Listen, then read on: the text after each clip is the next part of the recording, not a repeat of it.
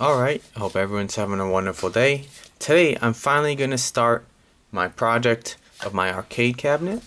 I've been slowly showing videos of some of the pieces for it, now I believe I have all of the pieces together and I'm just going to go over right in this video pretty much what I need to make this come true.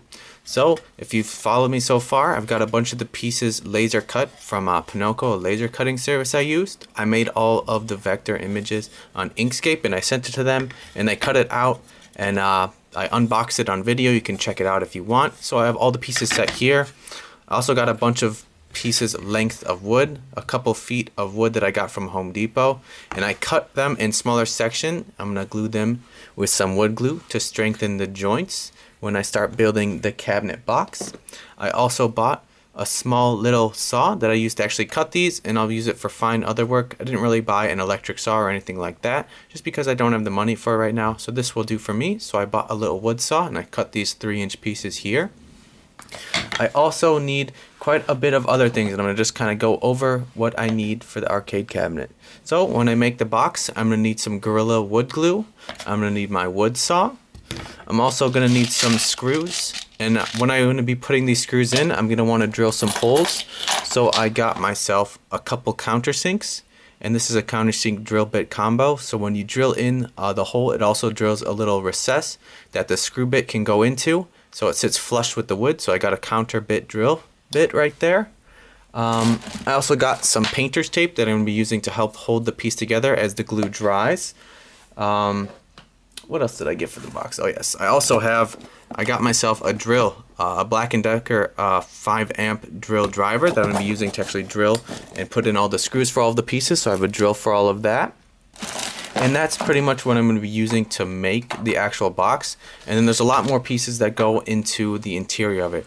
There's also a little grommet I got to hold to cover the hole I have uh, for all the wires that I'll be putting in later as well. So I got the grommet for that as well.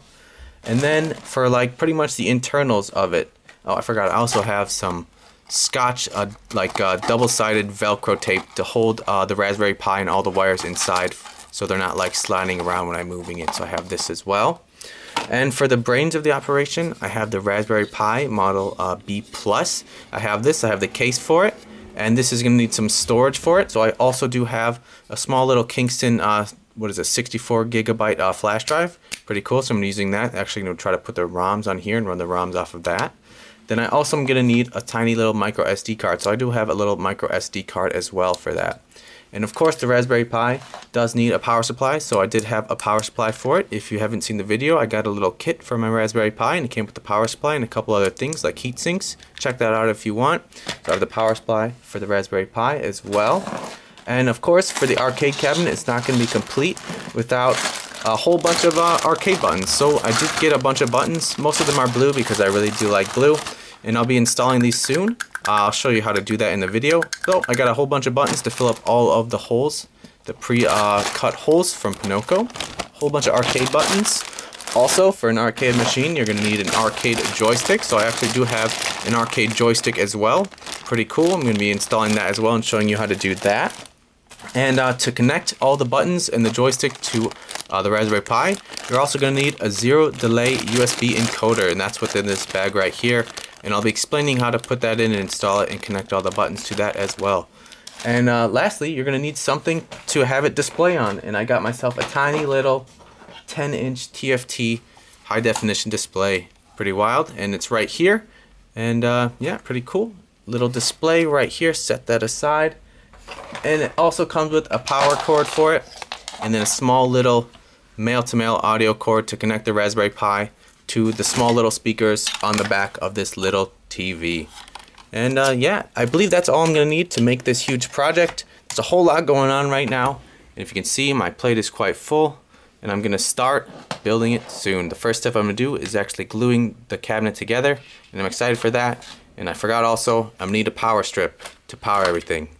So yes, this is pretty much all I'm to need. I'm sure I'm missing one or two things. Oh yes, I also forgot. I have the small little dual USB extender that I did a little review on and unboxing as well. So right now this looks like a huge jumbled mess, but in a couple weeks or however long it takes me, this is going to turn into a really cool little arcade cabinet project. Anyways, thanks for stopping by. Keep checking in to see the progress, and I'll catch you later.